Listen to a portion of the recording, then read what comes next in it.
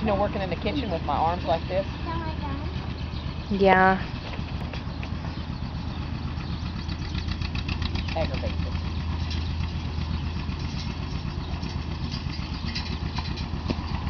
Of course, you got a totally different problem than I have. Not done yet. You want some water, bud? Watch where you walk over there. Why don't you stay where you walk where you can see things? You don't have boots or anything on.